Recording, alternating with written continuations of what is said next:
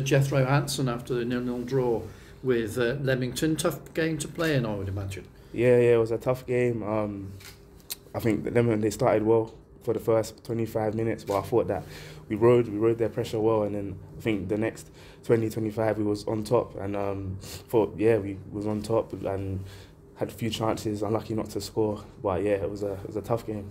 Because all the way through the game, it seemed that the defences were on top. Yeah, yeah, yeah. Um, they we rode their uh, pressure well. They rode our pressure well. Um, it's kind of evened each other out basically. So yeah, ended up with a draw. Um, did kind of feel like a loss. Felt like we could have won the game, but draw. Defenses came out on top today. How much are you enjoying it now? Because you seem to be, you know, you've got your position in the team sorted out. Yeah, yeah, enjoying it. Like, um, I had to be patient, wait my uh, for my chance, wait my turn, um, and then yeah, so when I got my chance, just tried to take it as best I could, and just yeah, it's good to be out there helping the team. And normally, your role is alongside Ryan Lloyd as sort of enforcing midfield players. Is that how you see it? Yeah, we're the, basically the two pivots in there, just kind of adding protection to the back four, and um, just looking to be two pivots to help to get on the ball, switch the play, and just yeah, just be the anchors for the team. And it's a bit of a change for you. How much are you enjoying a sort of, uh, you know, playing in front of large crowds? Yeah, it's new for me. Like this the biggest crowds that I've been uh, playing in front of, and it's yeah, it's great. Like you just as a player, you want to be playing in front of as many people as possible, and you know the supporters are great. You can hear um, the support every game, and yeah, just enjoying it. I imagine you've heard about Hereford's exploits as Hereford United in the FA Cup. Um, it's the FA Cup at the weekend. Yeah. Uh, probably a place nearer to where you came from, yeah, back yeah. in London. Uh, yeah. Do you know anything about Three Bridges? Um, to be fair, I don't really know too much about them. To be fair, but um, you know, it's those games are always kind of difficult. Um, I think they're about two two leagues below. Um, so yeah, we have to be on it. They're going to be up for it. We have to be up for it, and um, just match their endeavour, and then I'm sure our quality will show and can come out on top. Because that's that's the important thing in a cup tie. You just have to try and make sure you get through. Yeah, yeah, most definitely. Yeah, yeah. At the end of the day, just want to get through to the next round. Just get through.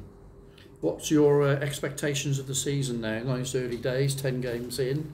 Uh, Yeah. What are you looking for? What are your hopes and aspirations? Um, personally, or oh, yeah, yeah, personally. um, personally, um, just play as many games as possible, play as well as I can, help the team. Obviously, um, hopefully, if if I can play well, the team can play well, we can win games, and yeah, just just play as many games as I can. Really. Do you feel there's more to come from you once you settle down? Yeah, yeah, most definitely. Just now, um, I think about three three starts in a row now, so just finding my feet and then hopefully can really start to kick on and put in real good performances. Well, thanks for your time. Thank you very much. Have you played the sort of role you're playing at the moment before? Yeah, um, I've always really been a holding midfield player, kind of an anchor. So yes, this is really my position that I usually play. Yeah.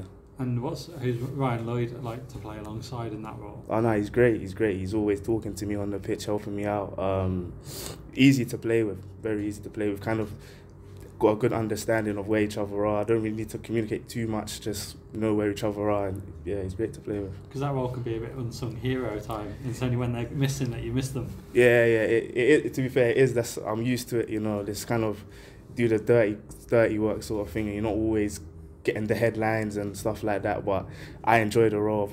I enjoy the role, so it's not bad. And what attracted you to come to Hereford? Um, well, I heard that they was looking for a holding midfielder, and then I kind of did some research into the club and saw that it was, it was a big, massive club, good following, and so yeah, I was more than happy to come. Came on trial and uh, done done well, and just yeah, I was glad to get. You signed. came in quite early in pre-season. Yeah, yeah, pretty much from the from the start. Yeah, pretty much from the start of pre-season, I was in. So yeah. How long in pre-season was it before you sort of knew you were joining? Um, I would say maybe about a week or two just before the start of the season. It was yeah.